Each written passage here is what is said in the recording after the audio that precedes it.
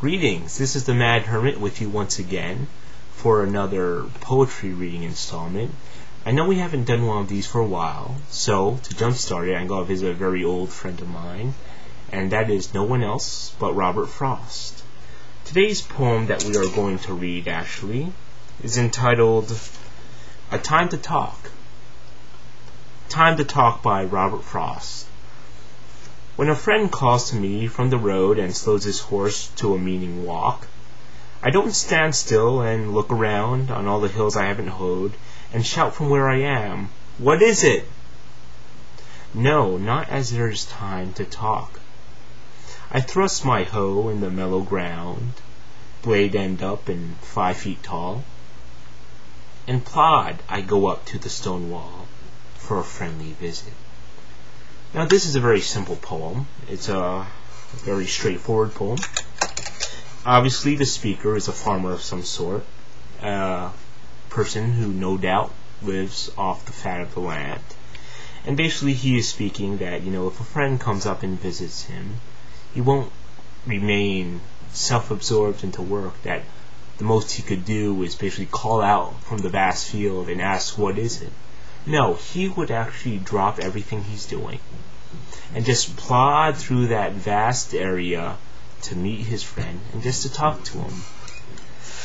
Now, this is a very, you know, as I said before, a very simple poem, but at the same time, it's a poem with a very profound meaning. How many times have, you know, we've been in a family situation or you know a friend comes up up to us and wants to talk to us.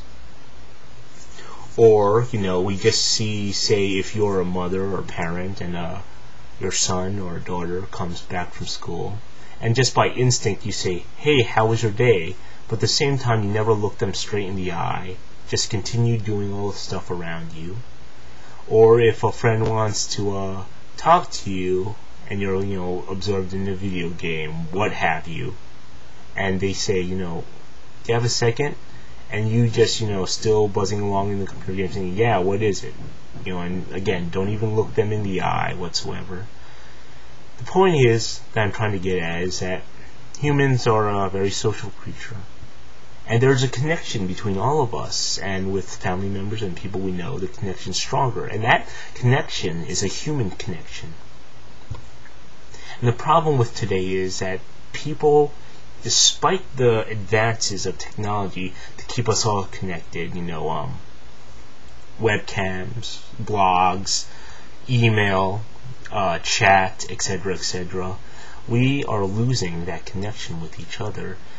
And even more so, ironically, to the people that we see in person each day with between families, between friends and coworkers. It's come all too much of a habit for a parent to address their children and to have no eye contact and just say out reflex, out routine, rather than actually going up to each other and saying, How was your day?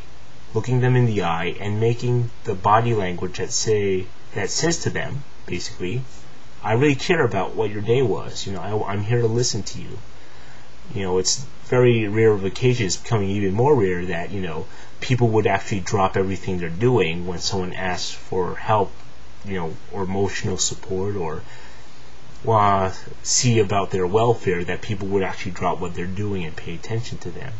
But that in itself is very important.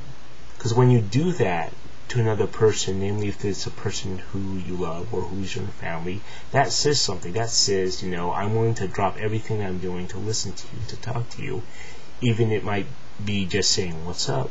How you doing? You know, how was your day?" etc., etc. So that's basically the thing that kind of this poem touches on in a very broad scale, but at the same time in a very concise level about human nature, the need for human connection, the need for sincerity within that human connection.